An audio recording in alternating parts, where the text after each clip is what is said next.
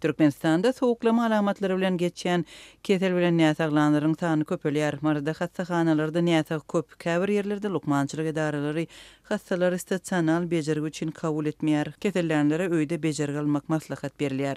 Bu barada Azatlyk Radiosynyň habarçylary Mary welaýatyndaky saglyk işgärlerine salgylanyp habar berýärler. Marynyň hassahanalary we saglyk öýleri soňky günlerde ýerli ýaşaýjylaryň iň köp barýan ýerine öwrüldi.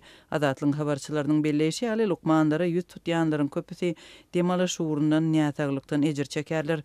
Baýramalyda bolsa lukmançylyk edaralary hassalaryň akymyna döz gelmeýärler we hassalara öýlerinde bejergi almagy maslahat berýärler. Baýramalynyň hassahanalarynda näsaglaryň akymy sebäpli otaglarda ýeterlik ýer ýok. Çagalar köp. Boş ýeriň ýoklugy we näsaglaryň köp bolmagy zerarly agyr hassalary kabul edýäris we ýüz tutýanlaryň köpüsine bejeriş usullaryny kesgitläp, dermanlary ýazyp berýäris hem-de öýde bejergi almaklaryny maslahat berýäris. Diýip, ýerli lukman gürrüň berdi.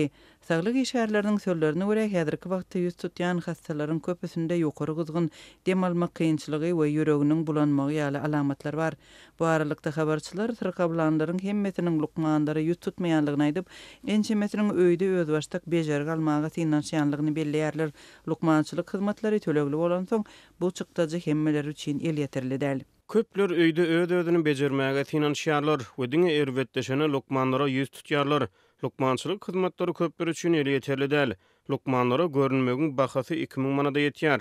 Bu gaty köp pul we köpler muny tölemegi başarmaýar. Diýip, Mardaky habarçymyz aýtdy.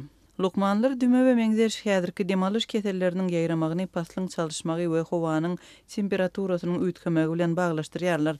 Munuň sebäbini Mary welaýatynyň saglygy saklaýyş pudagynyň wekillerinden resmi taýdan anyklamak boýunça edilen synanyşyklar oňyn netije bermedi.